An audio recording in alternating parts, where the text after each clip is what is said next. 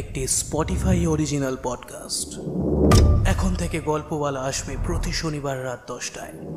যে তোমাদের শোনাবে দেশ বিদেশের গোয়েন্দাদের কাহিনী, শোনাবে রোম্যান্টিসিজমের গল্প, আর বলবে তেনাদের কথা, যাদের নাম নিতে নেই।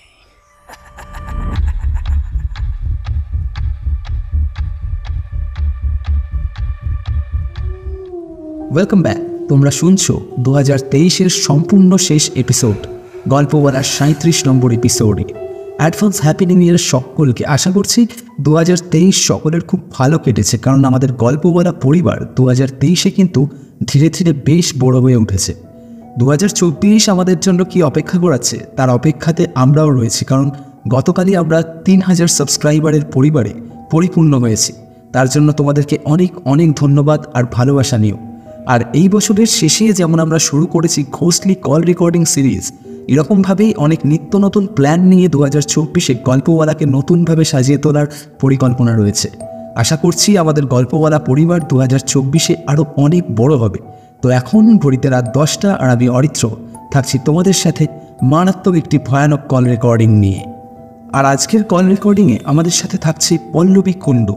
পল্লবীদি আমাদের সাথে আজ এমন কিছু ঘটনা শেয়ার করেছে যেই ঘটনাগুলো তার সাথে ঘটে বারাসাতের একটি কলেজে চাকরি করার সময়। আর পরে অসুস্থ হয়ে এমনকি সে চাকরি ছেড়ে দিতে বাধ্য হয়। বুঝতেই পারছ আজকের এপিসোড কতটা ইন্টারেস্টিং হতে চলেছে?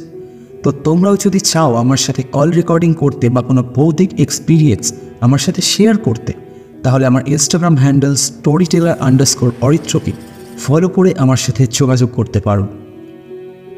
শুরু করছি আজকের এপিসোড হ্যালো পল্লবীদি তো হ্যাঁ হ্যাঁ। ওয়েলকাম টু গল্প বলার ঘোষলি কল রেকর্ডিং সিরিজ তো আজকে তোমার থেকে আমি কিছু ঘটনা শুনব। যে ঘটনাগুলো কয়েক মাস আগে তুমি আমাকে বলেছিলে বা আমার সাথে শেয়ার করেছিলে। তো লাস্ট যেদিন তোমার সাথে আমার কথা হলো তুমি আমাকে বললে যে তুমি যে কলেজে চাকরি করতে সেইখানকার কিছু হরার এক্সপিরিয়েন্স তোমার সাথে ঘটেছে। তুমি এক্সপিরিয়েন্স করেছ। তো সেই ব্যাপারে যদি তুমি ঘটনাগুলো আমাদের সাথে শেয়ার করো আমাদের গল্প বলার অডিয়েন্সের সাথে শেয়ার করো তো আচ্ছা। বলো। প্রথমে আমি সত্যি খুব থ্যাঙ্কফুল কি আমাকে তুমি এই অপরচুনিটিটা দিয়েছ। আহ, গল্পওয়ালাতে এসে গল্পটা বলার। এটা অ্যাকচুয়ালি যদি বিশ্বাস করা হয় তাহলে অনেক কিছু। আবার যদি বিশ্বাস না কেউ যদি বিশ্বাস না করতে চায় তাহলে কিছুই না। আমি যে কলেজে কাজ করতাম জব করতাম সেই কলেজের নাম আমি এখানে বলতে চাইছি না কারণ আহ, সেই কলেজের সমস্যা হবে তাহলে। কিন্তু কথা হচ্ছে যে মানে কলেজে বিভিন্ন ধরনের এমন এমন কিছু ইনসিডেন্ট আমার সাথেও ঘটে ইভেন কি আরও আর আমার যারা কালিগস ছিল তাদের সাথেও হয়েছিল, যেগুলো সত্যি চমকে দেওয়ার মতো। তো আমি ফার্স্ট থেকেই তোমাকে বলছি আমি তার আগে একটা কথা জাস্ট জিজ্ঞেস করতে চাই তোমাকে। তো এই ঘটনাটা মানে কতদিন আগেকার ঘটনা? মানে তুমি যে কলেজের এক্সপিরিয়েন্স আমি ওয়ান ইয়ার আগের ঘটনা বলছি। মানে আমি লাস্ট এপ্রিলে ছেড়েছি আর কি। মানে এই এই দু হাজার তেইশের এপ্রিলে আমি জবটা আর কি ছেড়েছি। মানে এক প্রকার ছাড়তে বাধ্যই হয়েছি কারণ আমি খুব অসুস্থ থাকতাম। যখন ওই কলেজে কাজ করছিলাম, তখন খুবই অসুস্থ থাকতাম। এবার সেটা কি কারণ? মানে সত্যি ও কাজ ছেড়ে দেওয়ার পরে কিন্তু আমি কিন্তু একদম নর্মাল আমি আমার লাইফ একদম নর্মালি লিড করছি। কিন্তু ওখানে যখন কাজ করছিলাম, তখন রেগুলার বেসিসে আর কি অসুস্থ ছিলাম। তো আমিও নিজে বুঝতে পারছিলাম সামথিং রং তো যাই হোক, আমি তোমাকে প্রথম থেকেই বলছি। প্রথম থেকে মানে আমি অ্যাকচুয়ালি ওখানে অ্যাডমিন অফিসার হিসেবেই জয়েন করেছিলাম। তো আমাদের, আমার কাজ ছিল কর্পোরেটে মানে আমাদের বারাসাতে কর্পোরেট যে আর কি অফিস কলেজে সেখানেই আমি কাজ করতাম। তো প্রথম দু মাস ওখানে কাজ করার পরে আমাকে বলা হয় যে ক্যাম্পাসে যেতে। আমাদের কলেজ ক্যাম্পাসে গিয়ে কাজ করার কথা বলা হয়। এবার আচ্ছা, আমি যখন যদি প্রবলেম না থাকে আমি কি জানতে পারি যে কলেজের লোকেশনটা কোথায়? এইটা বারাসাতে কাজীবাড়ি লোকেশন ঠিক আছে? আচ্ছা। লোকেশন বারাসাতে মানে একটু ভেতর দিকে। মানে আচ্ছা। ওখানে আর কি আমাদের কলেজটা সত্যি কথা বলতে কি খুবই সুন্দর। শান্তিনিকেতন আদলে মানে শান্তিনিকেতন এর মতো আর কি সুন্দর করে সাজানো গোছানো। তো কিন্তু ওটা সকালবেলায় যতটাই সুন্দর রাত্রির বেলা ততটাই ভয়ঙ্কর। আচ্ছা এটা কি তুমি কোনো ইঞ্জিনিয়ারিং কলেজের কথা বলছো? এটা শুধুমাত্র ইঞ্জিনিয়ারিং কলেজ না কলেজে যে মানে ম্যানেজমেন্ট কলেজ আছে টেকনিক্যাল কলেজ রয়েছে তারপর তোমার পলিটেকনিক কলেজ রয়েছে আচ্ছা। মানে সমস্ত মানে একটা ক্যাম্পাসের ভেতরে সমস্ত কলেজ প্লাস আমাদের স্কুলটাও ছিল। ঠিক আছে? যে সিবিএসই বোর্ডের স্কুল সেটাও ওই কলেজের ওই ক্যাম্পাসের ভেতরে প্লাস অ্যাডমিন বিল্ডিং সামনেই এন্ট্রান্সের সামনেই অ্যাডমিন বিল্ডিং তো এবার আমি আমাকে যে আমার কাজ অ্যাকচুয়ালি পড়েছিল ছ নম্বর বিল্ডিং এ ছ নম্বর বিল্ডিংটা ছিল একদম কলেজের শেষ প্রান্তে। সেটা আর কি আমা- যখন ফার্স্ট দিন ক্যাম্পাসে যাই, আমাকে বলেই দেওয়া হয় যে চারটের পর যেন আমরা কখনোই একা একা কোনো বিল্ডিং এ না বসে থাকি। সেটার রিজন কেউ কিচ্ছু বলেনি। খালি বলেছিল যে চারটের পর কারণ ফাঁকা হয়ে যায় যেহেতু কলেজ তো একা একা যেন কোনো বিল্ডিং এ আমরা না থাকি। আমরা যেন সবসময় চারটে বেজে গেলে আমরা অ্যাডমিন বিল্ডিং এ মানে একদম এন্ট্রান্সের সামনে যে বিল্ডিংটা সেই বিল্ডিং এ চলে আসি। অ্যাকচুয়ালি ছ নম্বর বিল্ডিংটা ছিল এইচআর বিল্ডিং তো আমার ম্যাক্সিমাম কাজটা ছিল ওই এইচআর ঘরেই বসে এইচআর রুমে বসে আমি কাজ করতাম। তো এবার সমস্যাটা হয়েছে মানে সমস্যাটা যেদিন কি আমি বুঝতে পারি, প্রথম যেদিন কাজ কর- করতে করতে এরকম চারটে বেজে গেছে মানে চারটে অনেক ক্রস করে গেছে, ঠিক আছে? এবার ছটা মতন বেজে গেছে। এবার ছটা বেজে গেছে গরমকাল, খুব একটা অন্ধকার তখনও হয়নি মানে একটু হালকা হালকা অন্ধকার আর কি। তো আমি যখন বেরিয়েছি কলেজ থেকে তখন মানে ওই ইয়ে থেকে বিল্ডিং থেকে তখন আর কি ঠিক আছে ম্যাম নর্মাল মানে আম- তো কিছুই জানতাম না যে কি বৃত্তান্ত কি প্রবলেম আছে। তো আমি একদম মানে তখনই আমার যখন মানে কলেজ থেকে বেরোচ্ছি বিল্ডিং থেকে বেরোচ্ছি তখন মানে পুরো বিল্ডিংটা অন্ধকার হয়ে গেছে অলরেডি যেহেতু সবাই চলে গেছে। তো তখন একটুখানি অন্যরকম একটা ফিল হচ্ছিল। একটু নেগেটিভিটি একটা মানে কীরকম একটা নাকে একটা গন্ধ আসছে প্লাস তার সাথে সাথে একটা মানে কীরকম যেন মনে হচ্ছে যেন কারও একটা শ্বাস পড়ছে। মানে এরকম একটা, কিছু একটা আমার মনে হচ্ছিল। তো আমার ভয়েতে আমি আরও তাড়াতাড়ি বেরিয়ে গেছি। বেরিয়ে গিয়ে ছটা তখন বাজে, আমি তাড়াতাড়ি পা পা চালিয়ে তাড়াতাড়ি আসছি। এবার দুপাশে মানে যেই ছ নম্বর বিল্ডিং থেকে একদম সামনে অ্যাডমিন অফিসে আসতে গিয়ে না অনেকটা রাস্তা। মানে ক্যাম্পাসটা বাইশ একর জমির ওপর তো তো অনেকটা রাস্তা ক্রস করে আমাদেরকে আসতে হয়। এবার দুপাশে দুটো ঝিল পড়ে, মাঝখানে বড় বড় আম গাছ মানে এরকম আর কি চতুর্দিকে রয়েছে। তো আমি যখন আসছি তখন আমার মনে হলো টু সাম এক্সটেন্ট কেউ আমার পেছনে হাঁটছে। মানে আমার জন্য মানে চলার একটা শব্দ পেছন দিকে। এরকম কিন্তু আমার এতটাই তখন ভয় লাগছে মনে মানে যেহেতু তখন আমি বুঝতে পারছি যে মেবি হয়তো এই কারণে আমাদের চারটের পরে বারণ করেছে থাকতে।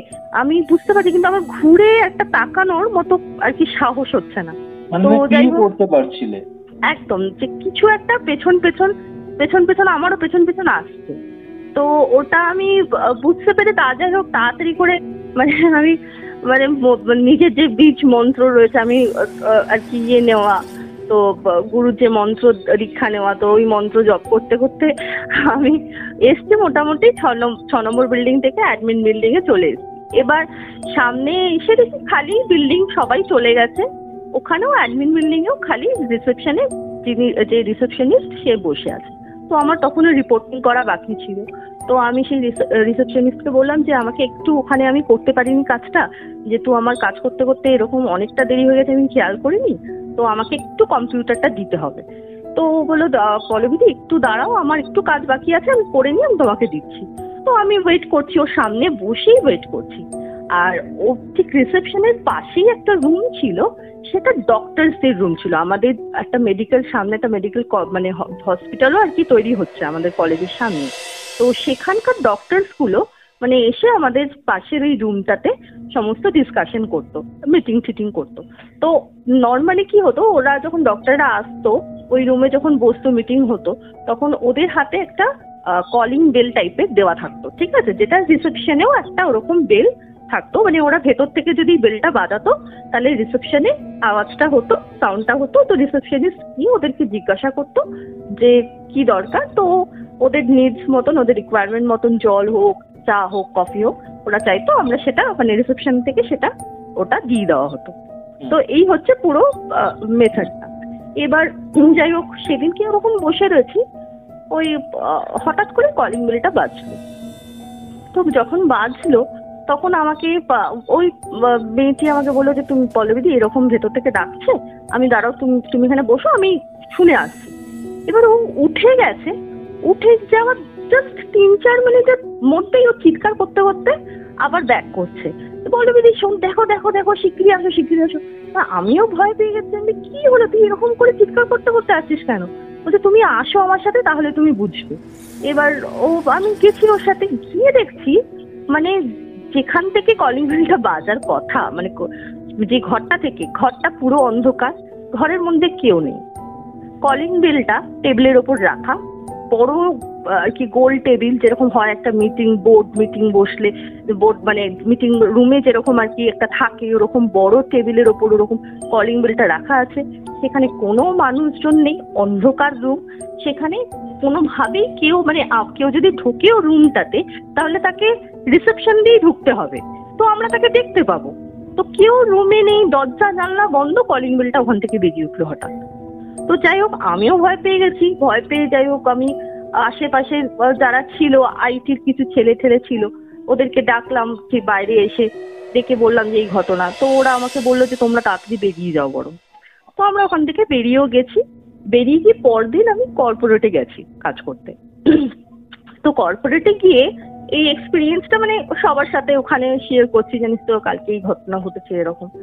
তো ইন দি মেন টাইম আমাদের যিনি ছোট ম্যাম বলি আমরা তো উনি যিনি ছিলেন মাঝখানে তোমাকে একটুখানি কাটছি। আমি যেটা জানতে চাইছি সেটা হচ্ছে মানে যখন কলিং বেলটা বেজেছিল ঠিক আছে তো তখন কি ওই যেই রুম থেকে বেলের আওয়াজটা আসে মানে যেখান থেকে। অ্যাকচুয়ালি নক করা হয় সেই রুমে কেউই ছিল না? কেউ ছিল না। মানে কোনো চান্সেসই নেই। কারণ কেউ যদি ঢোকে বা বেরোয় তাকে রিসেপশনের সামনে দিয়ে আসতে হবে রিসেপশনের সামনে দিয়ে যেতে হবে। তো আমরা সেখানেই বসেছিলাম তো কেউ আসেও নি কেউ যায়ও নি। পুরো ঘর অন্ধকার একদম মানে কোনো রকম প্রাণী নেই সেখানে। মানে রীতিমতো আমাদের গায়ে কাটা দেওয়ার মতো। যে পুরো ঘর অন্ধকার, তাহলে পুরো, আমরা দেখতে পাচ্ছি চোখের সামনে কলিং বেলটা টেবিলের উপর রাখা। তাহলে পরে বাজালোটা কি? এরকম। তো যাই হোক, এটা একটা আমরা জাস্ট পরের দিনকে ওরকম গল্প করছি। তো ওইটা শুনে আমাদের যিনি ছোট ম্যাম ছিলেন, উনি আমাদেরকে খুব বকা দিলেন যে তোদেরকে আমি বলেছি না যে চারটের পর থেকে কেউ একা একা থাকবি না, সবসময় কোথাও গেলে পরেও তোরা চেষ্টা করবি একসাথে যাওয়ার। তিন চারজন একসাথে যাওয়ার। এবার অনেক সবসময় তো তিন চারজন একসাথে থাকে না। যেরকম আমার কাজ করতে করতে সেদিন দেরি হয়ে গেছিল। তো নর্মালি এটা কাজের মধ্যে থাকলে কখন যে সময় চলে যায় তখন কেউ সেটা মাথায়ও থাকে না। হ্যাঁ। তো যাই হোক ওরকম ভাবে তখন আমরা শুনলাম তো আমরা তখন যে ম্যাম প্লিজ বলুন না কি ব্যাপার? মানে আপনি এরকম ভাবে যে বলছেন কি হয়েছে? ওখানে কি আছে? তখন ম্যাম বলছেন যে অ্যাকচুয়ালি মানে এটা তো এক ভীষণ গ্রামের ভেতরটায় ওখানটা মানে কলেজে যাওয়াটা পুরো ইটভাটা ছিল একটা সময়। ঠিক আছে? আর পুরো মুসলিম বেল্ট তো ওখানে এরকম প্রচুর মানে কি বলে জিন টাইপের জিন আর কি যাদের মানে এরকম প্রচুর দেখা যায় মাঝে মধ্যেই। দেখা যায় জিন জিন। মানে মুসলিম যারা নাকি মারা যায় মানে তারা নাকি জিন হয়ে যায় এরকম আর কি। উনি বললেন মানে যা যেই ওয়ার্ডটা উনি উচ্চারণ করলেন আমার অত নলেজই নেই। মানে ভূত প্রেত সম্পর্কে অত নলেজ নলেজ নেই। কিন্তু উনি যে ওয়ার্ডটা ইউজ করলেন সেটা বললেন যে মানে ম্যাক্সিমাম টাইম ওখানে ওরকম জিন দেখা যায়। সন্ধেবেলা রাত্রিবেলার দিকে। তো আমরা যেন কোনো রকম ভাবে ওখানে একা একা না ঘুরি। তো আমি তখন জিজ্ঞাসা করলাম যে তা আপনি জানলেন কি করে? যে জিন দেখা যায় আপনি আপনার কোনো এক্সপিরিয়েন্স আছে? তো উনি আমাকে বললেন যে এরকম বু- খু- অনেক এক্সপিরিয়েন্স আছে, তবে আমি একটা শেয়ার করছি তোমাদের সাথে। মানে আমি জানি তোমাদের বললে তোমরা ভয় পেয়ে যাবে, কিন্তু আমি তোমাদেরকে একটাই কথা বলব। তোমরা যদি কোনো রকম ডিস্টার্ব ওদের না করো, তাহলে ওরা তোমাদেরকে ক্ষতি করবে না। কিন্তু হ্যাঁ এটা তো হতে পারে যে হুট করে একটা কিছু দেখলে তুমি ভয় পেয়ে গেলে তোমার একটা কিছু হয়ে গেল। তো সেই কারণে আমরা তোমাকে অ্যাভয়েড করছি। কিন্তু এরকম কিছু ঘটনা মানে আমি একটা ঘটনা এরকম শেয়ার করছি, যেটা শুনলে তোমরা বুঝতে পারবে কি ধরনের ব্যাপার। তো আমরা হ্যাঁ হ্যাঁ বলুন বলুন। তো উনি বলছিলেন যে এরকম মানে অ্যাডমিন বিল্ডিং এ মানে যেই বিল্ডিং এ আমরা লাস্ট দিনকে মানে ওরকম ঘটনাটা ঘটেছে, সেই অ্যাডমিন বিল্ডিং ওই বিল্ডিং এ বসে আমাদের যিনি এইচআর ম্যাম তিনতলায় বসে কাজ করছিলেন, ঠিক আছে? আর এইচআর এর কাজ যেহেতু মানে খুবই হেডট্রিক থাকে হেডেকের কাজ থাকে, তো অনেক রাত অব্দি উনি কাজ করছিলেন, প্রায় তখন নটা সাড়ে নটা বাজে। তো আমাদের তিনতলাতেই একটা বড় আর কি ইয়ে স্ক্রিন আছে, ওই স্ক্রিনে পুরো কলেজের সিসিটিভি ফুটেজ ওই কলেজে দেখা যায়। মানে এই, ওই স্ক্রিনে দেখা যায়। ঠিক আছে? তো উনি কাজ করতে করতেই হঠাৎ করে যখন স্ক্রিনের দিকে তাকিয়েছে, দেখছে ওই ছ নম্বর বিল্ডিং এ মানে যে বিল্ডিং এ এইচআর বিল্ডিং মানে যে বিল্ডিং এ আমি কাজ কাজ করি, তো ওই বিল্ডিং এর ছাদের ওপরে কিছু একটা পুরো সাদা একটা অবয়ব। পুরো মানুষের মতো সাদা একটা অবয়ব ওই বিল্ডিং ওই বিল্ডিং এর সামনে একটা আম গাছ আছে। ওই আম গাছ থেকে একবার লাভ দিচ্ছে ছাদে ওই বিল্ডিং এর ছাদে। আবার ছাদ থেকে লাভ দিয়ে আবার আম গাছে। কনস্ট্যান্ট এটা হচ্ছে। মানে এটা কি উনি ওই স্ক্রিনে দেখতে স্ক্রিনে পাচ্ছেন? দেখতে পাচ্ছেন। স্ক্রিনে দেখছেন। ঠিক আছে? উনি ওটা দেখে সঙ্গে সঙ্গে ছোট ম্যাম যিনি ওনাকে ডেকেছেন।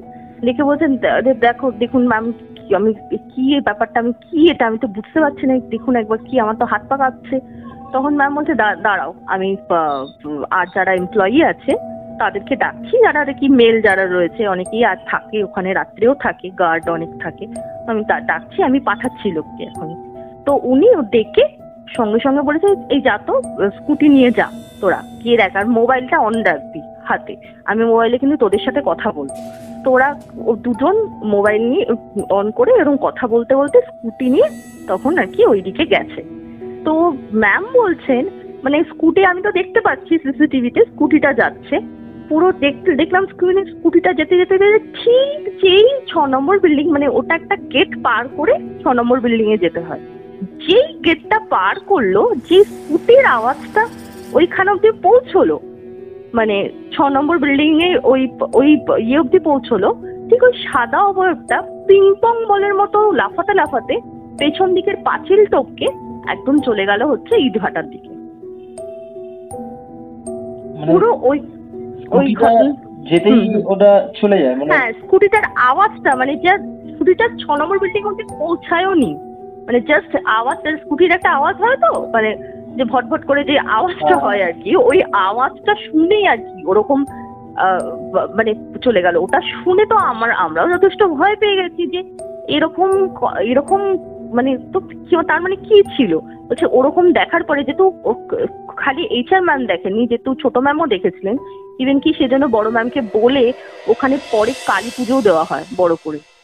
ঠিক আছে? বড় করে কালী পুজোও দেওয়া হয় বড় করে কালী পুজো ঠিক দেওয়ার আগের দিনও মানে যারা নাকি আমাদের ট্রেনার্স রয়েছে মানে যারা আর কি পড়ায় ওখানে।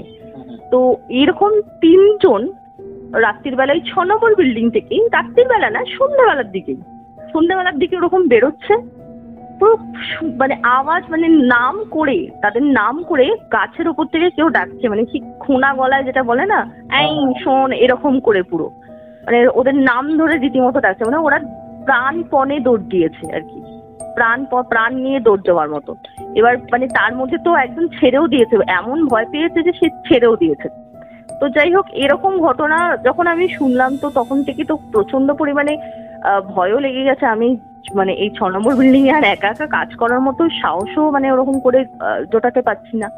এবার একটা দিন যেটা হয়েছে মানে সেটা সেদিনকে আমি বুঝলাম মানে যেদিন এই সমস্ত আলোচনা হচ্ছে, আমাদের যিনি স্যার ছিলেন মানে একজন স্যারও আছেন উনি আমাদেরকে বললেন যে এরকম একটা বাচ্চাও দেখা যায় মাঝে মধ্যে। একটা বাচ্চাকে ওরা তোমরা এরকম একটা বাচ্চাকে কিন্তু দেখতে পাবে তোমরা কিন্তু ভয় পাবে না। মাঝে মধ্যে দেখবে চোখের সামনে দিয়ে চলে গেল বাথরুমে ঢুকলো তারপর গিয়ে দেখলে হয়তো বাথরুম থেকে আর বাচ্চাটা বেরোলো না। মানে এই ঘটনাটা কলেজের প্রফেসররাই বলছে? হ্যাঁ প্রফেসরই বলছেন। যেরকম তুমি চোখের সামনে দেখবে যে কি কোনো একটা বাচ্চা হয়তো ঢুকলো বাথরুমে মানে এরকম ওনার সাথেও হয়েছে ঘটনা। মানে এরকম ঢুকেছে তো উনি ওয়েট করছে বাইরে। যে এবার ও বাচ্চাটা বেরোলে পরে ও, উনি ঢুকবে। তো দেখছে অনেকক্ষণ ধরে ওয়েট করছে, বাচ্চাটা বাথরুম থেকে বেরোচ্ছে না। তারপরে গিয়ে কি হলো বাচ্চাটা, কি হলো, এরকম একটা ব্যাপার গিয়ে দরজা খুলছে, দেখে বাথরুমের দরজা খুলে দেখছে কোনো বাচ্চা কাচ্চা কেউই নেই ভেতরে। তো এর, উনি আমাকে, আমাদেরকে এটা পরিষ্কার করব তোমরা কিন্তু এরকম শুধুমাত্র এই ঘটনাই নয় চোখের সামনে মানে করোনার সময় সব সেই সময় তো লকডাউন ছিল, তো আমাদের কিছু ওরকম প্রফেসর কিছু ইয়ে আমাদের কলেজেই থাকতো। তারা অনলাইনে ক্লাস করাতো মানে সেই সময়টা থাক, ওনারা থাকতেন আর কি। তো ওনারা থাকতেন, ওই সময় এরকম আকসার ওনারা দেখছে যে এরকম সকালবেলায় মানে সকাল হোক, রাত হোক, কোনো ব্যাপার না। মানে সেটা সব সময় আর কি দেখা যায়, এরকম আর কি। যে হঠাৎ করে দেখল যে সকালবেলা ঘুম থেকে উঠে যেটা বাচ্চা খেলতে খেলতে চলে গেল। দিয়ে পেছন দিকে তাকাচ্ছে কিছু নেই। তো উনি আমাদেরকে এটা অ্যাভয়েড করে দেবে তুমি কিন্তু দেখতে পাবে। উনি যখন অ্যাভয়েড করেছে তখন আমার মনে হচ্ছে আরে আমিও তো দেখেছি সেম জিনিস। মানে আমি তো- কোনো বাচ্চাকে দেখেছিলে? আমি একদম কিন্তু ওই যে আমি যেহেতু জানি না ব্যাপারটা যে কি ও আমি দেখেছি বলতে আমি যখন ছ নম্বর বিল্ডিং এ বসে কাজ করছিলাম এবার একদিন এরকম কাজ করছি সেদিনকে কেউ নেই স্কুল ছুটি ছিল। স্কুল ছুটি ছিল, কিন্তু আমাদের মানে ওই ছ নম্বর বিল্ডিং এ স্কুল। আর সেখানে ধরো একতলায় কতগুলো ঘর নিয়ে মানে এইচআর এর কতগুলো ওরকম ভাবে ঘর করা আছে, যারা ওখানে এইচআররা বসে কাজ করে। তো সেদিনকে স্কুল ছুটি ছিল, আমি একা বসে কাজ করছিলাম। মানে কেউ ছিল না। এবার যেহেতু আমার কোনো নলেজ ছিল না, আমি কাজ করছিলাম। এবার আমি কিন্তু কনস্ট্যান্ট আমি শুনছি যে ছাদের ওপরে মানে ওপরে এরকম ব্রেঞ্চ সরানোর আওয়াজ হচ্ছে কনস্ট্যান্ট মানে আমি ভাবছি কেউ হয়তো মুছছে, কেউ হয়তো ডাস্টিং করছে, হয়তো এই রূপ বিল্ডিং এর হয়তো কর্মচারীরা হয়তো ডাস্টিং করছে, এই করছে। কিন্তু অনেক পরে মানে আমি শুনলাম ওখানে তখন কেউই ছিল না বিল্ডিং বন্ধ ছিল মানে কেউ ছিল না। মানে সেটা আমি পরে জানতে পারলাম। ইভেন কি এটাও আমি পরে জানতে পেরেছি মানে সেদিন কি যখন কাজ করছিলাম আমি বসে একা এরকম মানে একটু অন্ধকার অন্ধকার টাইপের এইচের রুমটা লাগছিল, তো আমি, আমার মনে হলো কি পেছনের জানলাটা খুলে দিই। পেছনের জানলাটা খুলে দিয়ে যেন রোদটা ঢুকবে। পেছনের জানলাটা যেই খুলতে গেছি, দেখছি একটা বাচ্চা বসে খেলছে এইট ফিট নিয়ে খেলছে। তো আমি ভাবি নর্মালি কাকে এত ভাববে? আমি ভাবছি যে, বাচ্চা খেলছে কোনো হয়তো কর্মচারীর বাচ্চা হবে, বা কেউ একটা হবে। প্রচুর এমপ্লয়ি প্রচুর লোক কাজ করে ওখানে। কে ভাববে যে, বাচ্চাটা, আমি তো ভাবতেই পারিনি যে বাচ্চাটা কোনো রকম অন্য কিছু বা এরকম। আমি ভেবেছি মানে অন্য কারও ছেলে ঠেলে হবে, অন্য কোনো হয়তো ওয়ার্কারের কোনো ছেলে। কিন্তু পরে এটা জানতে পারছি ওখানে বাচ্চা আসবে ওয়ার্কাররা যদি কাজও করে, তারা কি তাদের বাচ্চা নিয়ে আসবে কলেজের মধ্যে? সেটা তো হবে না। মানে পরে আমি এই জিনিসগুলো শুন- শুনে তারপরে আমি তখন মানে বললাম হ্যাঁ ঠিক তো আমিও তো সেম জিনিসটা দেখেছি, তাহলে এরকম, সত্যি তো পেছনে ওরকম একটা বাচ্চাকে আমি দেখব কোথা থেকে? এটা কলেজের মধ্যে। আসবে কোথা থেকে বাচ্চাটা? মানে এই ধরনের ঘটনা রিপিটেডলি ঘটা ইভেন কি মানে আমি আরেকটা জিনিস আমি যার জন্য আমি ছেড়ে দিয়েছি, ওখানে আমি ক্যাম্পাসে কাজ করার যতদিন কর্পোরেটে ছিলাম, ততদিন কোনো সমস্যা ছিল না। কিন্তু ক্যাম্পাসে কাজ করতে শুরু করার পর থেকে আমি অসুস্থ হতে স্টার্ট করি। মানে একটা অদ্ভুত রকম যেন সারাক্ষণ একটা নেগেটিভিটি কাজ করতো যেন ভেতরে। যে আমার মানে একটা লেথার্জেটিক একটা এনার্জি পাচ্ছি না। তারপরে একটা সব সময়ের জন্য এটা মনে হতো কি ভয় ভয় মানে আরও যেন ভয়ে কি মানে ইয়ে হয়ে যাচ্ছি। তো এই জিনিসগুলো আর প্রায় প্লাস শরীর খারাপ তো লেগেই থাকতো।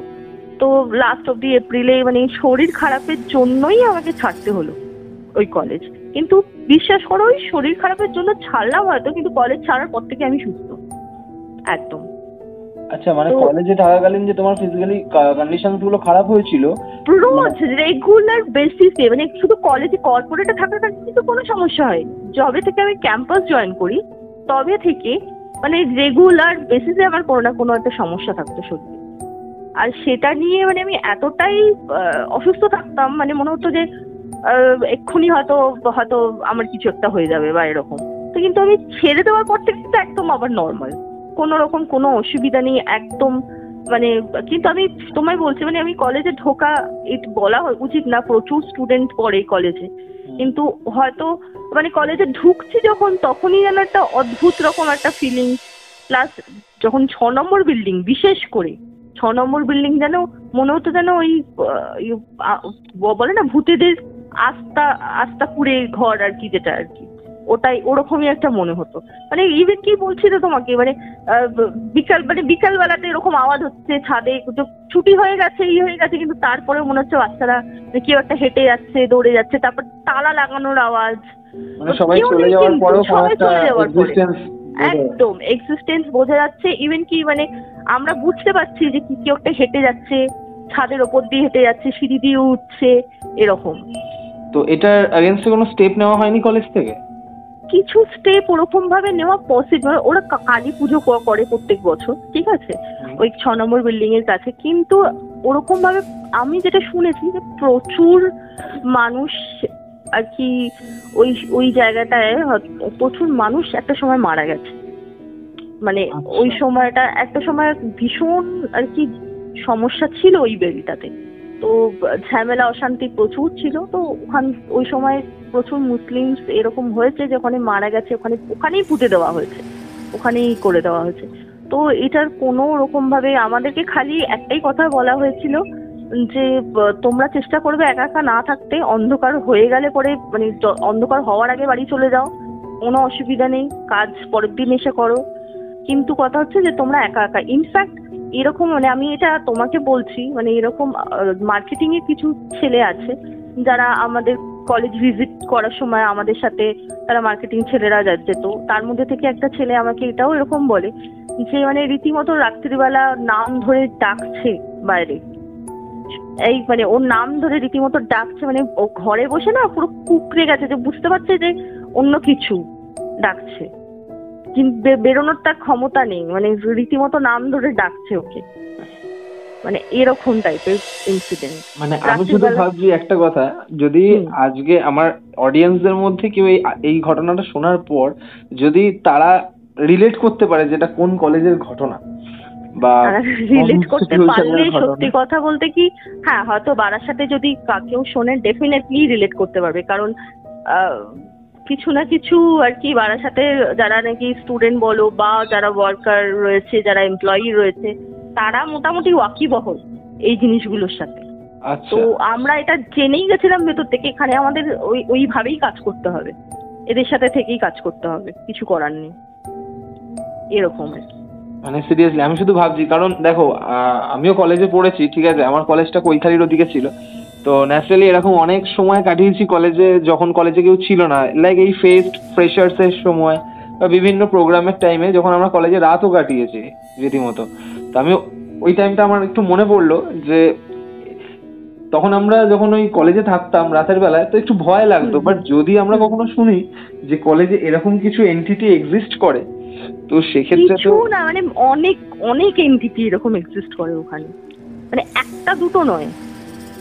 মানে তোমাকে আমি এটাও বলছি যে এরকম চোখের সামনে এরকম মহিলা মহিলা হাত ধরে টেনেছে মানে আমাদের একজন আর কি এইচআরেরই একজন রয়েছেন, ওই ঠিক করোনার সময় যখন লকডাউন তারা যখন ওখানে ছিল রাত্রেবেলা ঘুমিয়ে আছে, এরকম হাতটা জানলার মধ্যে রেখে হাত ধরে টেনে বলছে যে সাহায্য করো সাহায্য করো, এরকম। মানে এটা তারপর তুমি ইনস্টিটিউশন ছেড়ে দিলে। হ্যাঁ তারপর মানে আর কিছু জেনেছিলে যে ওখানে কিছু ঘটেছে কি ঘটেছে না আমার আর সাহস নেই। মানে সত্যি কথা বলতে কি এত কিছু শুনেছি প্লাস আমি নিজে এত অসুস্থ থাকতাম যে আমার সত্যি আমার মনে হচ্ছে আমি ছেড়ে দিয়ে ভালোই করেছি এরকম আর কি। তবে হ্যাঁ যথেষ্ট ভালো কলেজ এইটুকুনি বলব। যারা স্টুডেন্ট যারা মানে আর ওখানে পড়ছে প্লাস এত আর কি আমাদের ওখান থেকে প্লেসমেন্ট হচ্ছে সব কলেজ হিসাবে ভীষণ ভালো। কিন্তু মানে কাজ করা ওখানে থেকে ওইভাবে কাজ করাটা একটু ডিফিকাল্ট দেখো কলেজে যারা পড়ছে তারা তো দিনের বেলায় পড়ে বাড়ি চলে দিনের বেলা যাচ্ছে। পড়ে পড়ে বাড়ি ওদের সাথে কোনো একটা ওরা কিছু ফিলও করতে পারে না হয়তো। কিন্তু হ্যাঁ। যারা কাজ করে যারা নাকি টিচার তারাও হয়তো অতটা ফিল করতে পারে না কারণ ওদেরও চারটের মধ্যে ওরা বাড়ি চলে যায়। কিন্তু যারা অ্যাকচুয়ালি অ্যাকচুয়ালি কলেজের অথরিটি প্লাস অ্যাডমিন যারা নাকি পুরো পেছনটা আর কি ব্যাক অফিসটা সামলাচ্ছে। তারা পুরোটা ফিল করে যে হ্যাঁ কি আছে কি নেই। মানে যার জন্য না আমরা রীতিমতো একটু রাত হলে কাঁপতাম। মানে ইনফ্যাক্ট আমাদের গাড়ি এরকম ছিল যে একা একা মানে আমরা ছ নম্বর বেশি রাত হয়ে গেলে ছ নম্বর থেকে আমরা এক নম্বরেও এক নম্বর বিল্ডিং এর জন্য আমরা গাড়ি আমাদের পাঠাতো। মানে আমরা হেঁটে আসব না এরকম। যে গাড়ি আসবে গাড়ি নিয়ে তারপর যাবে মানে এতটাই আর কি তোমার জায়গাটা এই ঘটনাগুলো শুনে আমার একটা জিনিস মনে পড়ল। আমি একটা এপিসোড করেছিলাম। যেখানে উইপ্রোর একটা ঘটনা আমি পেয়েছিলাম উইপ্রো অফিসের একটা ঘটনা আমি পেয়েছিলাম। তো আচ্ছা। হ্যাঁ আমি রিলেট করতে পারছি এই ঘটনাটার সাথে। তো ওখানেও একজন এমপ্লয়ির সাথে এরকম খুব মারাত্মক একটা ঘটনা ঘটেছিল। তো মানে আমার সাথে হয়তো এতটা মারাত্মক ঘটনা ঘটেনি। মানে ইনফ্যাক্ট আমার ওই ছোট ম্যাম যেটা বলছিলেন উনিও একদিন এরকম আসছে। ওর ঠিক দুদিকে অ্যাকচুয়ালি দুটো আর কি পুকুর আছে লেক টাইপের আছে তো ওর মাঝখান দিয়ে রাস্তা। তো এই মাঝখান দিয়ে রাস্তাটা যখন আসছে মানে ওনার রীতিমতো গলায় ওড়না ছিল ওড়নাটাকে টেনে ধরেছে কেউ পেছন থেকে। এমন ভাবে টেনে ধরেছে তো উনি খালি একটাই কথা বলে আমার গলায় কিন্তু কিসের মালা বলো? ওই কি বলে ওটাকে? তুলসীর মালা। তুলসী না আরেকটা যেটা বলে ওটাকে কি বলে? মানে প্রত্যেকের মতো দেখতে কি বলে ওটাকে? আমার ঠিক মনে পড়ছে না। কাঠের মালা টাইপের তো? হ্যাঁ হ্যাঁ হ্যাঁ মানে হ্যাঁ। যেটাকে ঠাকুরের যেটা আর কি মানে শিব ঠাকুরের কি বলে ওটাকে? ও রুদ্রাক্ষের মালা। রুদ্রাক্ষের মালা রাইট হ্যাঁ হ্যাঁ রুদ্রাক্ষের মালা আছে তুই কিন্তু কিছু করতে পারবি না আমার। যখন এই কথাটা বলে ওনাকে নাকি অন্যটাকে নাকি ছেড়ে দিয়েছে। তো এই জিনিসগুলো ওনার মনে শক্তি আছে উনি ওনার সেই হয়তো গার্ড আছে দ্যাটস ওয়াই উনি বেঁচে যাচ্ছেন। কিন্তু হ্যাঁ আমাদের সাথে হলে তো আমার আমাদের পক্ষে বাঁচা পসিবল না। তো এই জিনিসগুলো আমি তো ওখানে হলে পরে আমি আমার হার্ট অ্যাটাক হয়ে মরে যাব। আমার সাথে যদি এই ঘটনা ঘটে ওরকম। তো আমি ওই জিনিসগুলো শুনেই মানে আস্তে আস্তে আমার না এখানে আর অসুস্থ তো থাকছি মানে রেগুলার বেসিসে তো আমার এখানে আর পসিবল না ওইভাবে কাজ করা। তো সেই কারণেই আমি আর কি ছেড়ে দিলাম আরও। এই হচ্ছে ব্যাপার। আমার এক্সপিরিয়েন্স আর কি মানে মারাত্মক টাইপের এক্সপিরিয়েন্স তো ভালো লাগল বেশ এই এক্সপিরিয়েন্সটা তুমি যেটা শেয়ার করলে মানে দেখো আমায় তো তুমি আগেও বলেছিলে বাট তুমি আমায় এতটা এলাবোরেট করে বলোনি কোনো কিছু যেটা যতটা তুমি আজকে আমাকে এলাবোরেট করলে। তো ভালো লাগল। তো। আমি হ্যাঁ তো আরও কিছু ঘটনা যেগুলো তুমি আমায় বলেছিলে যেমন তোমার বাড়িতে কিছু ঘটনা ঘটেছিল। যখন তুমি ছোট ছিলে অ্যাকচুয়ালি তো সেই ইনসিডেন্টগুলো আমি চাইব যে তুমি আমার অডিয়েন্সের সাথে শেয়ার করো। তো সেটাও নেক্সট কোন একটা এপিসোডে ডেফিনেটলি আমি চাইব আর তুমি বলেছিলে তোমার বাবার সাথে কিছু একটা ঘটনা ঘটেছিল। হ্যাঁ, হ্যাঁ, হ্যাঁ যখন আহ, তিনি অসুস্থ ছিলেন। তো শেষ মুহূর্তে কিছু ঘটনা ঘটেছিল যে ঘটনাগুলো সত্যি কথা মানে তুমি আমায় বলেছিলে তো আমি এখনও ভাবলে ইনফ্যাক্ট আমি একটা পডকাস্টে ওই ঘটনাগুলো শেয়ার করার পর তো কিছু অডিয়েন্স আমাকে কমেন্ট করে জানায় যে তাদের যাদের কাছের মানুষ যারা চলে গেছেন তাদেরকে চলে যাওয়ার আগে তারা এই ধরনের কথাবার্তা বলেছে। আমি এই এই ব্যাপারটা এই আমি যে বাবার ব্যাপারটা বলেছি তোমাকে তো এই ব্যাপারটা আর এই কলেজের ব্যাপারটা না পুরো ডিফারেন্ট আমার হ্যাঁ যেটা পুরো ডিফারেন্ট কারণ এই যে মারা যাওয়ার আগে কাউকে দেখতে পাওয়া বা কাউকে। না অনেক কাউকে দেখতে পাওয়া পাওয়া। হ্যাঁ। তো এই জিনিসগুলো মানে আমার যেটা মনে হচ্ছিল আমার বাবাকে দেখে যে আমরা যেটা অ্যাকচুয়ালি পঞ্চ ইন্দ্রিয় গ্রাহ্য যেগুলো আমরা চোখে নাকে কানে সেইটুকুকেই আমরা পৃথিবী ভাবি। কিন্তু ওটা ছাড়াও হয়তো একদম ওটা ছাড়াও হয়তো কিছু এক্সিস্ট করে। হ্যাঁ। এই ইউনিভার্সে কিছু এক্সিস্ট করে যেটা হয়তো আমরা দেখতে পাচ্ছি না আমরা শুনতে পাচ্ছি না আমরা বুঝতে পারছি না। কিন্তু তার তারপরেও মানে তার বিয়ন্ড অফ দিস মানে কিছু একটা এক্সিস্ট করে যেই জিনিসগুলো হয়তো মারা যাওয়ার আগে তারা দেখতে পায় বা তাদের চোখের সামনে সেই ওয়ার্ল্ডটা হয়তো খুলে যায় আমি এইরকম মানে মানে তুমি যেটা বললে যে আমার বাবা কথাটা তুমি আমার কাছ থেকে শুনেছো আমার বাবার সাথে এরকম হওয়ার পর থেকে মানে আমি খুব আর কি জানার ব্যাপারে এই ব্যাপারটা কেন আমার বাবা এগুলো কি দেখছিল বা কি। এগুলো মানে এগুলো কি আদৌ সত্যি ছিল নাকি তার মেন্টাল স্ট্যাটাস সেই সময় খারাপ হয়ে গেছিল? মানে যেটা নাকি আশেপাশের লোকজন বলেছিল যে তার সে এখন মেন্টালি খুব ডিস্টার্ব বলে এইসব জিনিস বলছে সেটা দেখছে কিন্তু আমি কখনোই বিশ্বাস করিনি। কারণ কারণ না মানুষ চলে যাওয়ার ঠিক আগে এমন কিছু জিনিস দেখতে পায় বা বুঝতে পারে যেগুলো আমরা জীবিত অবস্থায় বুঝতে পারি না। বুঝতে পারি না আমরা দেখতেও পাবো না। হ্যাঁ। কিন্তু একমাত্র সেই শুনছে সেই দেখছে সেই বুঝছে। হ্যাঁ। আমি এই জিনিসটা সেজন্য আমি বিভিন্ন লোকের কাছে বিভিন্ন আমি জানার চেষ্টা করেছি বই পড়েছি। তারপরে কি আমি অনেক কিছু জানতে পেরেছি যে হ্যাঁ একদমই ঠিক সে আদার সব কথা ঠিক বলছে। সে বলছে তার এলআইসি তে কত টাকা আছে সে বলছে তো সেই কথাগুলো সব তার ঠিক খালি ওই কথাটা সে ভুল বলতে পারে না কখনো একদমই একটা মানুষ মানে এতটা সে- সে যদি ভুল বলতো তো সব কথা পাগলের মতো বলতো। সব হ্যাঁ। কথা ভুল বলতো। সে একটা কথাই ভুল বলবে আর সব কথার মাঝখানে এটা হতে পারে না কখনো। তো আমি সেই ব্যাপারটা তুমি যদি কখনো আমার আমার কাছ থেকে শুনতে চাও আমার মানে ওটা আমার লাইফে ওই এপিসোডটার জন্য মানে যেই এপিসোডে এই গল্পটা মানে এই ঘটনাটা তুমি রিভিল করবে আমি ওই এপিসোডটার জন্য ভীষণভাবে ওয়েট করে আছি।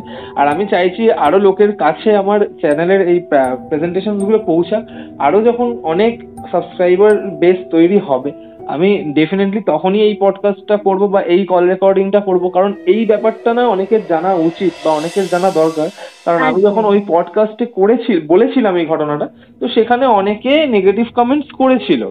ওকে আচ্ছা। তো তারপর যখন আস্তে আস্তে ওই পডকাস্টটা ভাইরাল হলো তখন আমি জানতে পারলাম কমেন্টস এর থ্রুতেই প্রচুর অডিয়েন্স যারা কমেন্ট করে বলছে যে তারাও তাদের কখন কেউ বলছে আমার ঠাকুমার মৃত্যুর আগে সে এরকম বলতো যে কারা যেন তাকে নিতে এসেছে বা কেউ বলছে আমার বাবা চলে যাওয়ার আগে বাবা এমন কিছু কথা বলতো যেগুলো বুঝতে পারতাম না কিন্তু বাবা খালি বলতো যে কেউ নিতে এসেছে। বাট প্রায় আমি কম করে হলেও বলছি পঁচিশ থেকে তিরিশ জনের কাছ থেকে আমি এই ঘটনা পেয়েছি। যারা বলছে কি তুমি এটা একদম। তুমি এটা বলছো মানে আমার বাবার সাথে এরকম হওয়ার পরেও আমি প্রচুর মানুষ মানে আমি সবাইকে শেয়ার করতাম। কারণ এটা আমার কাছে প্রচণ্ড একটা আশ্চর্যের ব্যাপার যে আমি ভাবতাম আমি যথেষ্ট ছোট ছিলাম তো যে কে নিতে আসবে? কি? ব্যাপারটা খুব খুবই আগ্রহী এই জিনিসটা ছিলাম যে তাহলে কি হয় ওই সময়? কারণ তোমার কাছের এত কাছের একটা মানুষ কিছু এক্সিস্টেন্স ফিল করছে দেখতে পাচ্ছে শুনতে পাচ্ছে কিন্তু তুমি তার পাশে থেকে তুমি দেখতে পাচ্ছ না। কিচ্ছু তুমি কিছু রিয়েলাইজ করতে পারছ না। মানে আমার মনে হচ্ছে সে যা বলছে সে পুরো অন্য তার চোখের সামনে পুরো অন্য কিছু চলছে একটা হ্যাঁ। অন্য জগৎ। আর আমি সেটা দেখতেই পাচ্ছি না। মানে এটা আমার কাছে একটা বিশাল আশ্চর্যজনক একটা মানে আমি খুবই আর কি ইয়ে হয়ে গেছিলাম এগুলো জেনে। কিন্তু তারপরে যখন আমি আমার আরও সবার সাথে শেয়ার করতাম বন্ধু হোক কালিগস হোক হ্যাঁ। তখন তাদের কাছ থেকেও সেম মানে কিছু কিছু মানুষের কাছ থেকেও মানে ইভেন এরকমও শুনেছি তারা কোনো সাধুকে দেখছে। কেউ কেউ বলছে যে এরকম আমারই এক বন্ধুর ঠাকুমা এরকম বলছে যে দূরে আহ, মনে হচ্ছে কেউ বাঁশি বাজাচ্ছে কৃষ্ণ ঠাকুরের যে বাঁশি। মানে কেউ তিলক এঁকে দিচ্ছে তার কপালে সে বারবার হ্যাঁ। মুছে দিচ্ছে কিন্তু সেই তিলকটা কনস্ট্যান্ট লেগে এরকম বহু ঘটনা তারপরে আমার কাছেও আসতে থাকে। তো তখন আমি তাহলে সব কটা ঘটনা নিয়ে কিন্তু একটা এপিসোড করব যেখানে এখনই সব বলে দিও না। হ্যাঁ হ্যাঁ হ্যাঁ। যেখানে আমি তোমার সাথে ঘটা যে ঘটনাটা মানে যেটা তোমার বাড়িতে ঘটেছিল তুমি আমায় বলেছিলে যে ঘরের মধ্যে তোমাদের কোনো একটা ঘরে এরকম কিছু ঘটনা ঘটেছিল যেই ঘরটা থেকে নাকি আওয়াজ পেতে।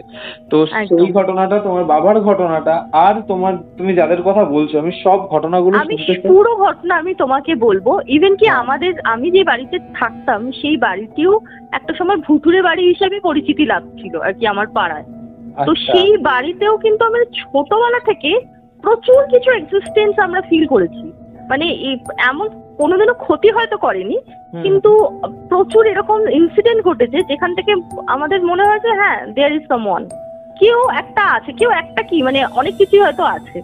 কিন্তু তারপরেও কি কোনো ক্ষতি হয়তো আমাদের হয়নি কিন্তু আমার বাবা মারা যাওয়ার পর থেকে আমি দেখলাম মানে মানে উনি তো একটা আমাদেরকে প্রোটেক্ট করে রাখতেন। আমার মনে হলো মৃত্যুর পরেও যেন আমাদেরকে প্রোটেক্ট করে উনি রাখার জন্যই মানে ইচ অ্যান্ড এভরিথিং বন্ধ হয়ে গেল সাডেনলি এইচ অ্যান্ড এভরিথিং আমার বাবা মারা যাওয়ার পরে এইচ অ্যান্ড এভরিথিং বন্ধ হয়ে গেছে। আমার মনে হলো যেন উনি সবটুকু নিয়ে উনি কোথাও একটা চলে গেলেন। সবটুকু যা খারাপ ছিল এই বাড়ি।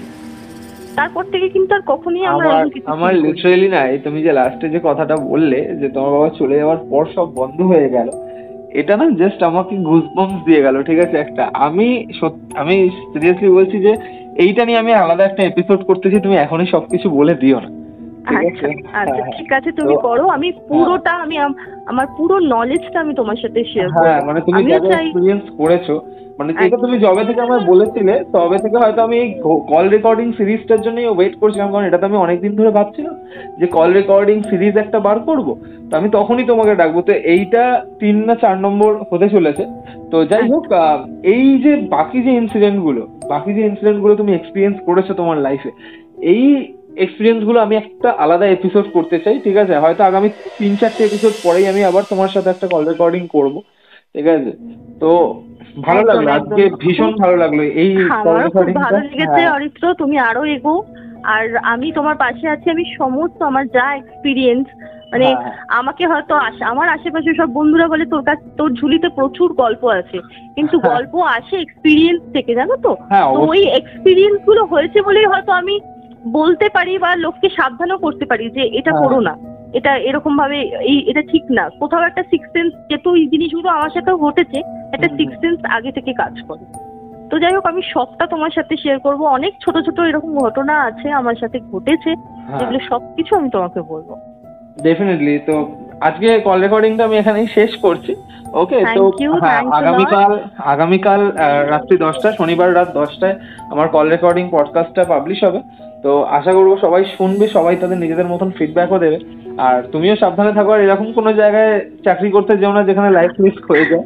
একদম হ্যাঁ একদম হ্যাঁ ঠিক তো আছে হ্যাঁ আবার কোনো একটা হবে। তাড়াতাড়ি করো নেক্সট কল রেকর্ডিং এ আমি সব সবটা শেয়ার করব। থ্যাংক ইউ ঠিক আছে।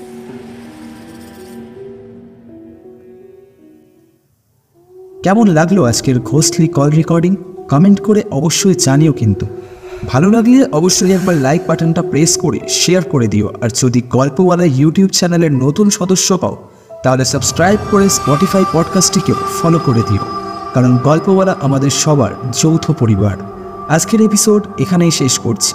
আগামী শনিবার আসছি নতুন কোনো গল্প বা ঘটনা নিয়ে।